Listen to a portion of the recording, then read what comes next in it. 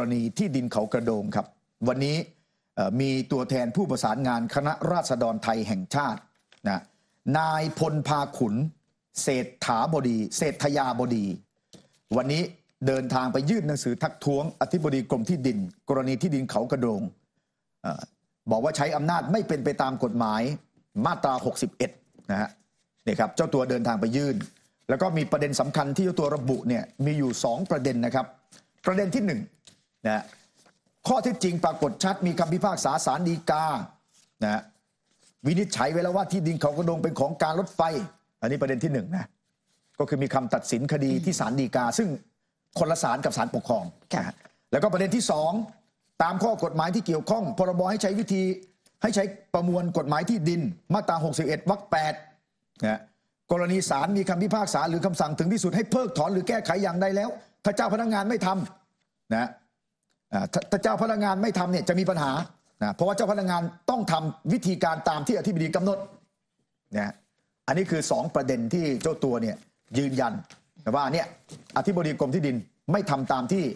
เอ่อกฎหมายกำหนดค่ะนะฮะทีนี้ล่าสุดวันนี้ทางกรมที่ดินก็มีเอกสารชี้แจงออกมาครับนะฮะหลังจากที่ก่อนหน้านี้มีเอกสารออกมาเมื่อ 19 พฤศจิกายนแล้วว่านะที่ศาลปกครองกลางพิพากษา แล้วก็มีการตั้งคณะกรรมการสอบสวนตามมาตรา61ก็ตั้งเรียบร้อยนะแล้วก็ทำตามคำสั่งศาลปกครองเรียบร้อยนะคณะกรรมการเนี่ยเสนอมาว่า ไม่มีหลักฐานพอที่ไปเพิกถอนตนเองก็เห็นว่าไม่เพิกถอน อันนี้คือคำชี้แจงออกมาเมื่อวันที่ 19 ส่วนวันนี้มีเพิ่มเติมมาอีกครับ วันนี้กรมที่ดินทำหนังสือชี้แจงรายละเอียด ที่มาและอำนาจหน้าที่ของคณะกรรมการสอบสวนตามความมาตรา 61 ตามประมวลกฎหมายที่ดิน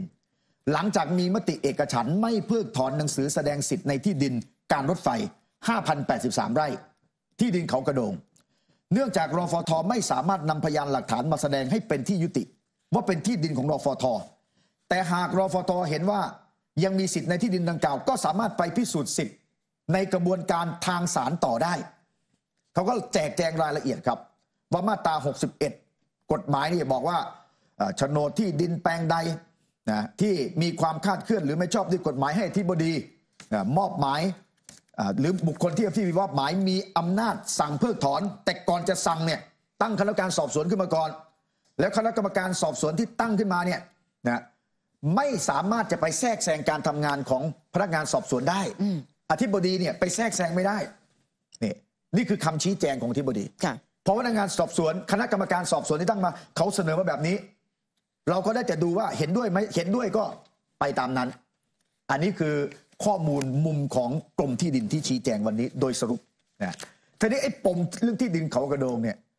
มันเป็นการอ้างสิทธิ์ทับซ้อนกัน ปมที่ดินเขากระโดง อ้างสิทธิ์ทับซ้อนอะถ้าเราจะพูดเรื่องเออที่ดินทับซ้อนเนี่ยมันไม่ใช่ไทยกัมพูชาอ่านะอันเนี้ยทับซ้อนระหว่างรอฟทกับชาวบ้านที่ถือโฉนดค่ะนะ ตอนนี้เป็นเรื่องของศาลปกครองกรมที่ดินและการรถไฟเป็นคู่กรณีนะเพราะว่าการรถไฟเนี่ยร้องศาลปกครองไม่ใช่ศาลฎีกานะคดีนี้เป็นคดีศาลปกครอง คดีศาลฎีกาเนี่ยมัน 35 คนค่ะซึ่ง 35 คนเขาเป็นฝ่ายฟ้องการรถไฟ แล้วเขาไม่มีโฉนด เขาดันไปฟ้องการรถไฟ การรถไฟไปงัดเอาที่เอาแผนที่ที่ทำมาขึ้นภายหลัง เอามาสู้เลยชนะ เพราะไอ้สามสิบห้าคนไม่มีโฉนดอะไรา แต่กรณีนี้เป็นกรณีที่การรถไฟเป็นฝ่ายร้องศาลปกครอง ให้กรมที่ดินเพิกถอนนะทีนี้กรมที่ดินก็ทำตามคำสั่งศาลว่า มีคณะกรรมการขึ้นมา แล้วก็ไปตรวจสอบ แล้วก็ให้ที่ดินนี่ไปชี้แนวด้วย แต่ประชาชนที่อยู่ในพื้นที่ที่การรถไฟอ้างสิทธิ์เนี่ย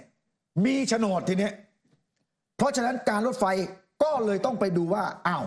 แผนที่แนบท้ายพระราชกฤษฎีกาเวรคืนที่ดินของการรถไฟมีไหมค่ะ เพราะฝ่ายนี้เขามีโฉนด มันออกโฉนดมาตอนนี้นะแล้วมันยังมีโฉนดอยู่ อันนี้คือคำชี้แจงของคณะกรรมการก่อนหน้านี้ ปัญหาตอนนี้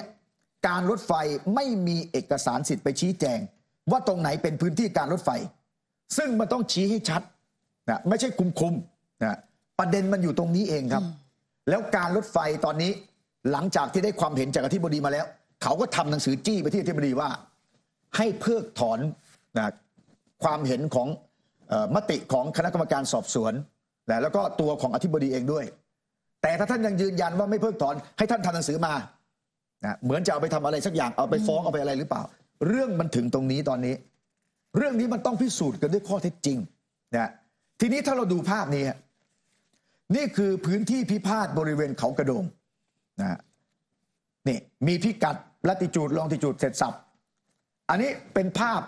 ที่ทาบลงไปในเอ่อแผนที่จริงนะ ตรงพื้นที่สีแดงที่ท่านผู้ชมเห็นนะครับค่ะคือพื้นที่ที่การรถไฟอ้างสิทธิ์อืมแต่พื้นที่ตรงนั้นก็มีประชาชนถือกรรมสิทธิ์อยู่ มีทั้งเป็นโฉนดเป็นนสสามค่ะนะมีครอบครัวนักการเมืองด้วย 200 ไร่อืมแต่ทั้งหมดนี่ประมาณ 5,000 กว่าไร่ ทีนี้แผนที่แสดงเขตแนวรถไฟอ้างสิทธิ์ หน้าตาเป็นยังไง นี่ครับ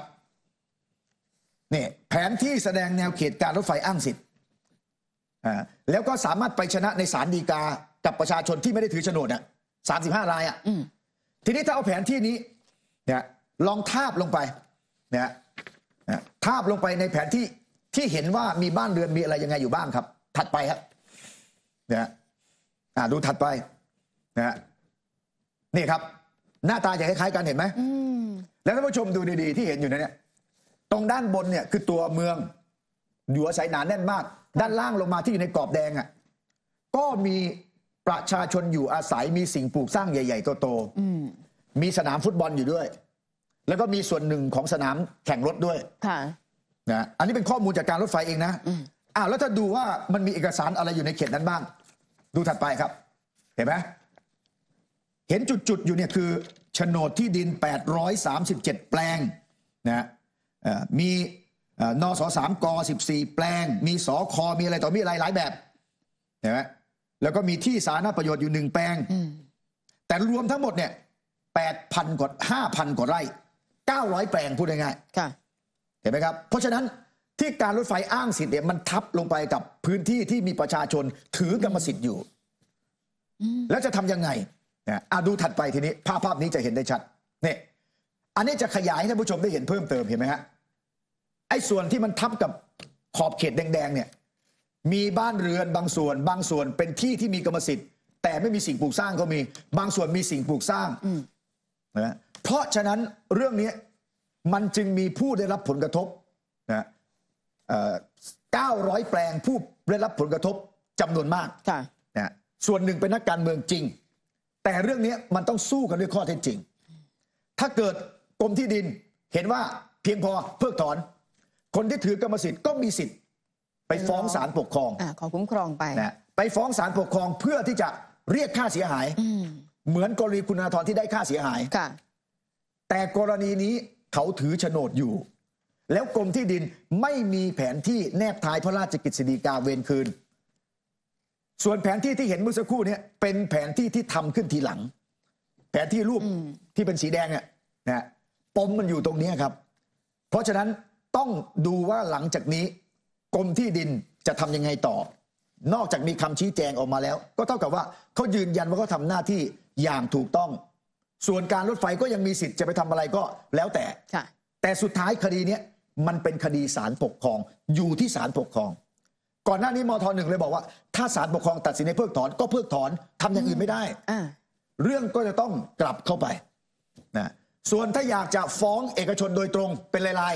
ๆรฟทก็ทำได้ไงอืมก็ฟ้องตรงเลยต่อศาลปกติทำไมไม่ฟ้องล่ะ เออทำไมไม่ฟ้องล่ะ อืม เห็นไหมเพราะฉะนั้นนี่คือการต่อสู้ทางกฎหมาย ใครผิดใครถูกเราไม่ได้ตัดสิน ค่ะ ต้องเป็นศาลปกครองว่าจะเพิกถอนหรือไม่เพิกถอนยังไงนะฮะ แต่ที่บดีกรมที่ดินยืนยันว่าตอนนี้ทำตามคณะกรรมการไม่เพิกถอนอ่าการรถไฟเห็นต่าง ก็สู้กันตามกฎหมาย นี่คือหลักของเรื่องนี้ ส่วนเรื่องการเมืองถ้าเอาการเมืองเข้ามายุ่งเละหมดนะฮะต้องปิดตาดูว่าไม่ว่าเป็นของใคร แต่ต้องใช้หลักการนี้อืมนะเดี๋ยวเราพักกันครู่เดียวครับ กลับมาช่วงหน้าสารรัฐธรรมนูญวันนี้ กับคดีกรณีนายทักษิณชินวัตรกับพักเพื่อไทย มาร่วมสนับสนุนท็อปนิวส์นำเสนอความจริงได้แล้ววันนี้ เพียงกดปุ่ม Super Thanks แล้วเลือกจำนวนเงินตามที่ต้องการได้เลยครับ ขอบคุณครับ